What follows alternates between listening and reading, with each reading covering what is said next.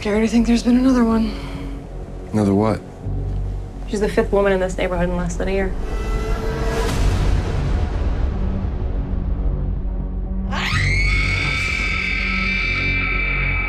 You think that Evers killed his latest bimbo, tossed her in the incinerator, and you're sober? If we really did have a serial killer living on our floor, wouldn't you want to know? I'm going in.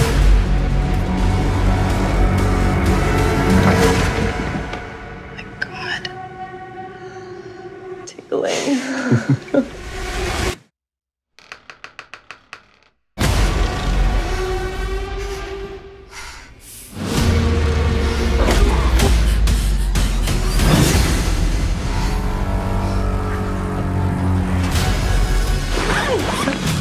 You killed him.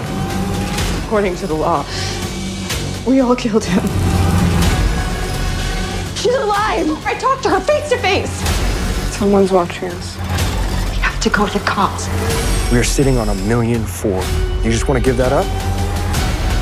Where's the money?